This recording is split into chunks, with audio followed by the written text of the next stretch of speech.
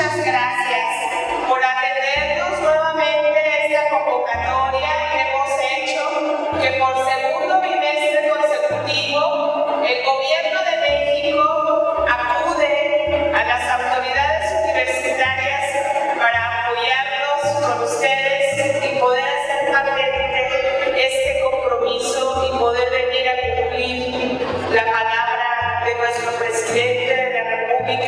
El licenciado Andrés Manuel López Obrador,